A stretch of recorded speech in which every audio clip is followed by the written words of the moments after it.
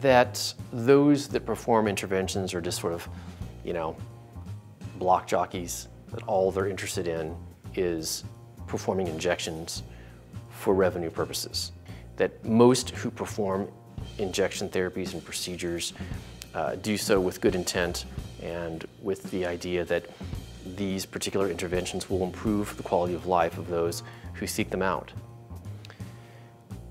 The other misconception is that it's primarily that the injections are done for revenue generating purposes because they typically generate more revenue than seeing a patient would be would in a consultation setting or in a return visit type of setting.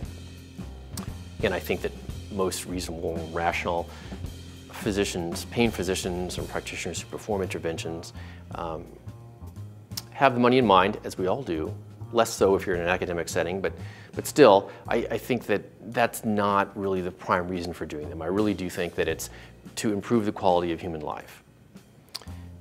The third would be that the interventions are done because a colleague asks us to do them, because uh, you know patients expect 100% relief.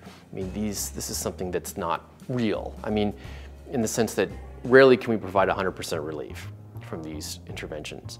Um, colleagues do send patients to us when everything else sort of fails and they expect the injections to be miracle workers, and they're not. And I think that patients sometimes feel like, well, gosh, if I have an injection, it's going to take my pain away forever, and I'm going to have a life that I never did.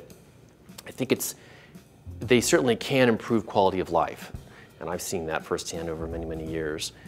They're not miracles, um, and I think that's somewhat of a misconception too, but they can